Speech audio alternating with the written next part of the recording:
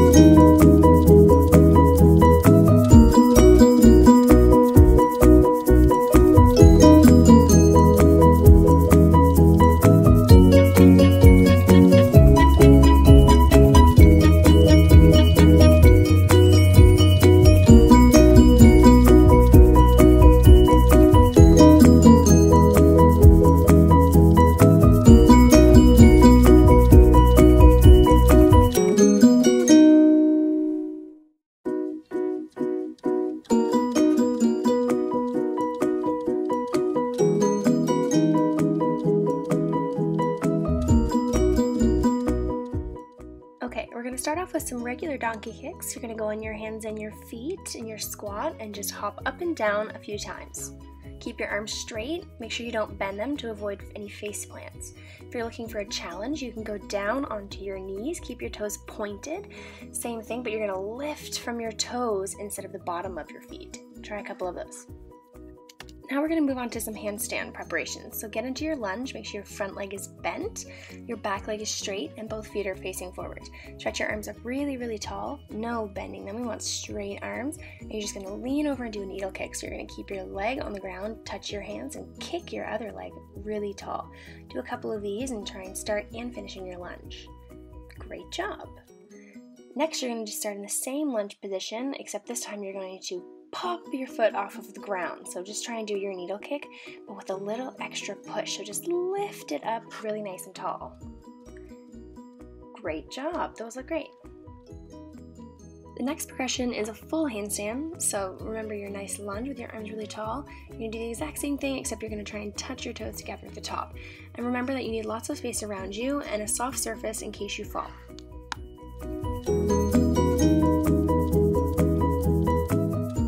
Next we're going to move on to some jumps. Now, a reminder that we love, love, love our motorcycle landings for all our jumps. Make sure when you land a motorcycle, your knees are bent, but they don't go over your toes. You want them just to just sit nicely over your feet. Now we're going to just start with some little hops and then a motorcycle landing. Awesome.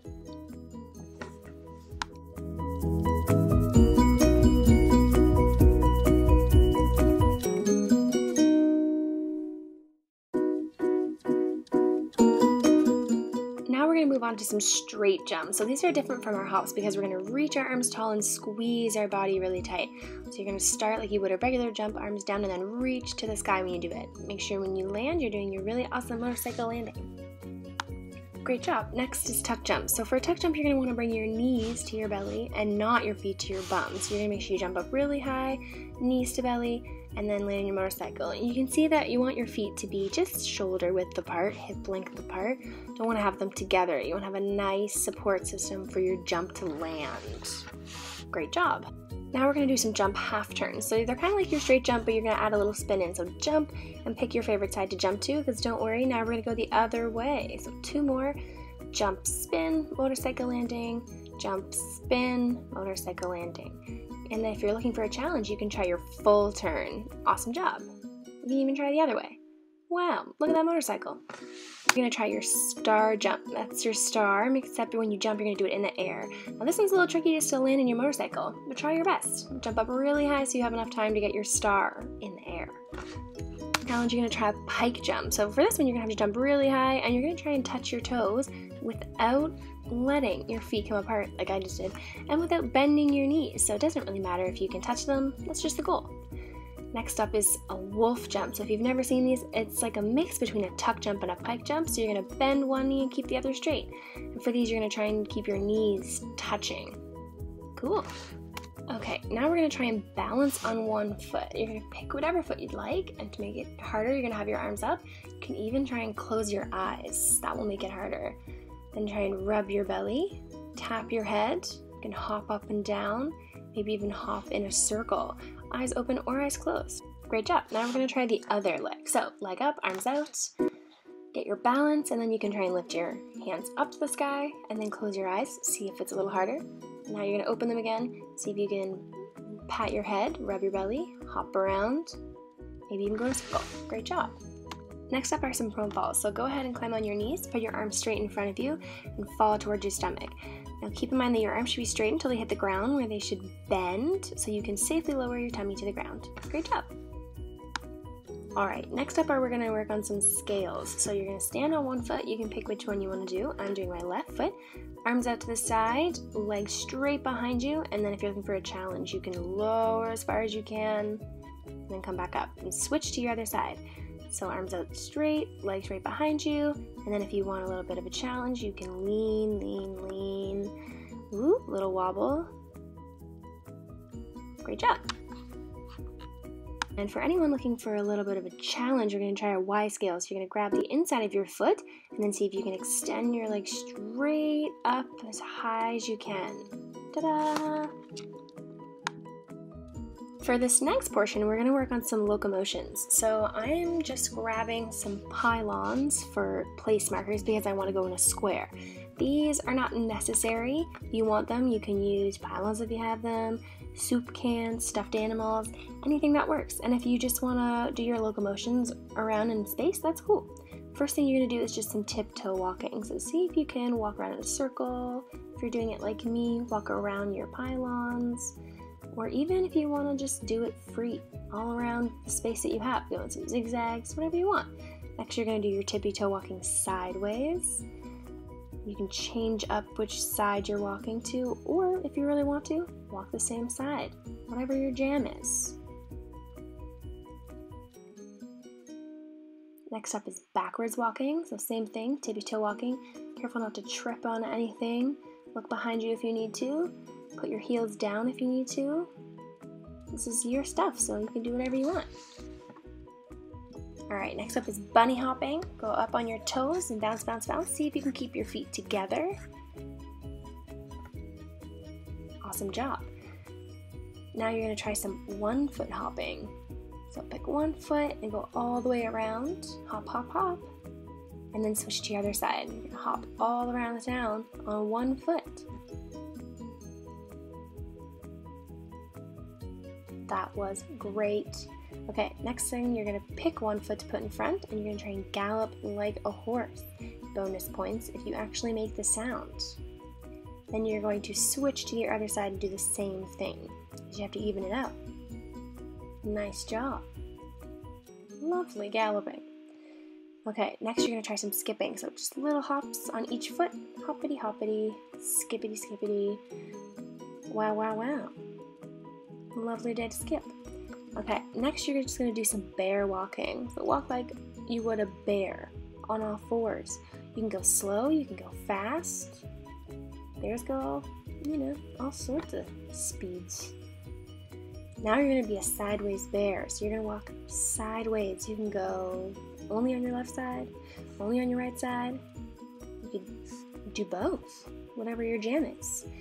And then if you're feeling extra, extra snazzy, you could try backwards. Ooh, but next up is crab walk. So you're gonna go forwards or backwards or sideways.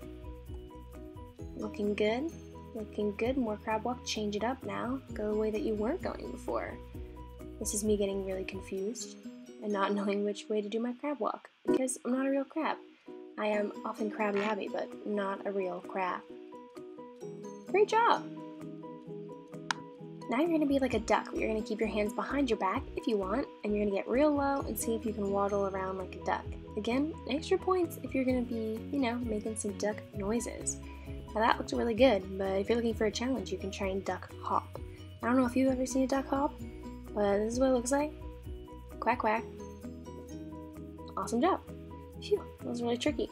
Now we're gonna clean up my pylons. You know, if you got out some cancer animals or pylons, you should clean those up too. So we're gonna move on to the next portion. For this next portion, we're going to do some beam lines, but no worries, if you don't have an actual beam like me, you can put some green painter's tape that doesn't stick to the floor in a line, or you can just pretend that you're on the beam and walk in a straight line. Now, you can choose a couple places for your hands to go, your hips, down low, to the side, or even up tall. I am choosing my hips just because. The first thing you're going to do is walk forwards. When you get to the end of your line or your beam, you can try a pivot turn by going up on your toes and just swiveling around. Then do another line. You're going to do two of everything. Great job. Now you're going to try and go on your tippy toes just for a challenge. And then it's really easy to pivot and walk another line. Now you're to try sideways, just on your flat feet, facing the same way when you get to the end. Do another line. Awesome. Now you're to do the exact same thing, but on your toes. So take your time. You do not need to go fast. Just go all the way down, stop, and then all the way back. For these ones, no need to pivot turn because you're just to face the same way. Awesome job. Now you're to try backwards. Now if you're actually on a beam, make sure that when you get to the end, you can try and tap behind you to see where the end of the beam is. And then pivot turn, and some more backwards walking. Ooh, almost fell over there. No biggie. Just gonna get back up. All right. The next thing you're gonna do is a super awesome pivot turn, wham, and then you're gonna see if you can walk backwards on your tippy toes. And if you can't or you don't want to, that's fine. Go on a flat feet, wherever your jam is. I don't know where the end of the beam is anymore. I lost it, but I'm still gonna do a pivot turn. Next up is some more tiptoe walking. Awesome. Love it. Oh, there the end of the beam is. Okay, now the next thing you're to do, you're to have your hands out to the side and you're to try and kick forwards. Make sure both of your legs are really, really straight. You don't want to be bent or hunchy. You want to be really tall. You can do your pivot turn when you get to the end. You can do some more. Don't worry about how high your leg is. Just try and keep your leg straight. Now you're to try and kick backwards but walk forwards. The same thing. Don't worry about kicking your leg really high. Just keep both of your legs really straight. Pivot turn when you get to the end. Try another length.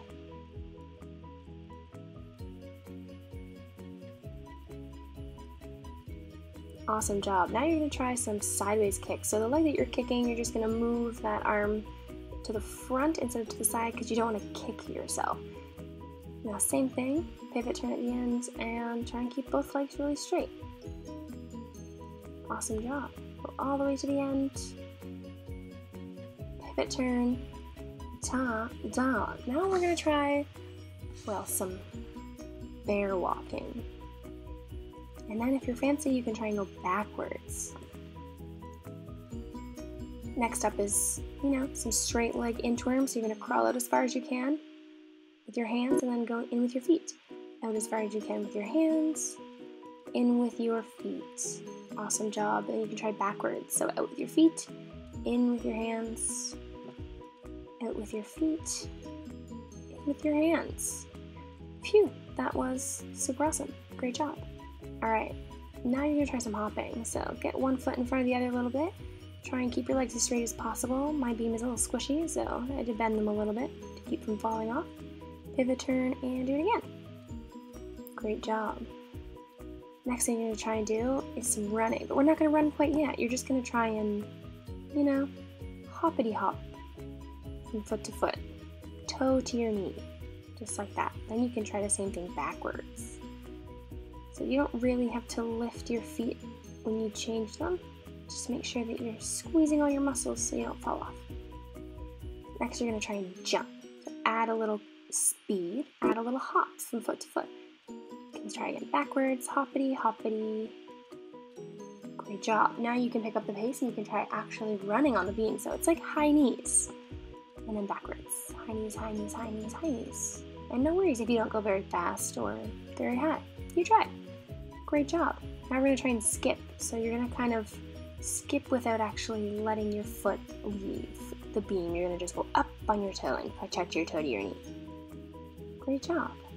Next, you're gonna try and just do a little hop, hop, hop, hop. Awesome job. Pivot turn, hop, hop, hop, hop.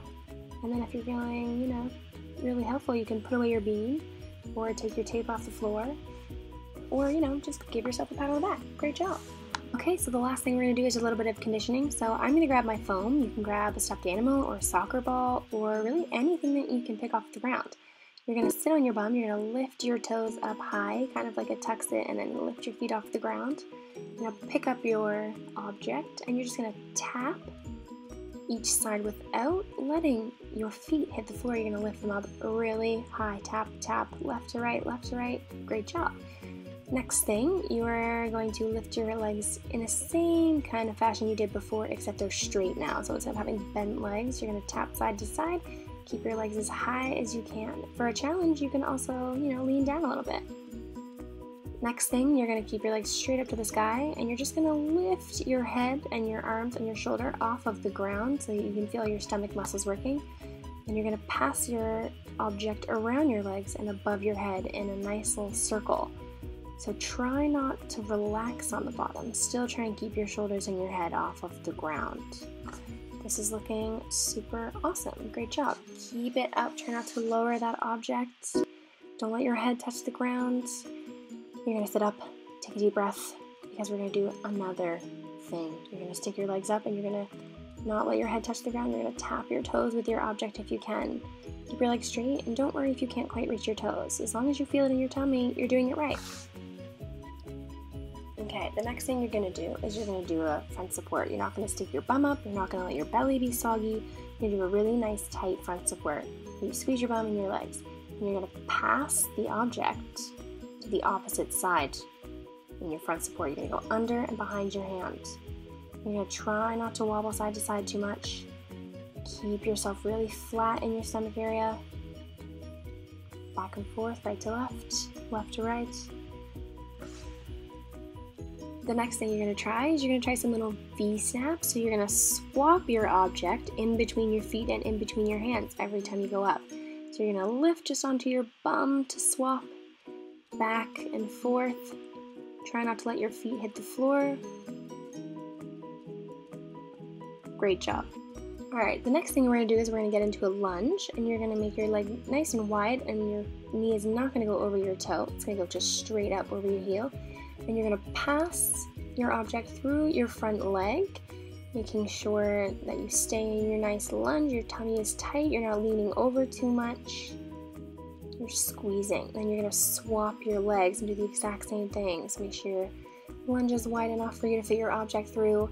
You can pick a smaller object than me if you want it to be a little easier.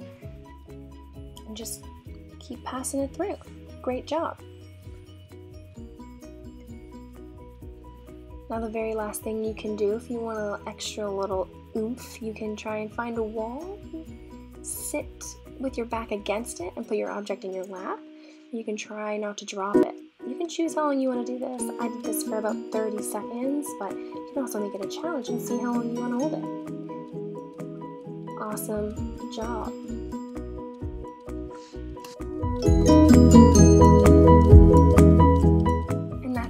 Today's lesson, so shake your legs out. You did a great job. See you later.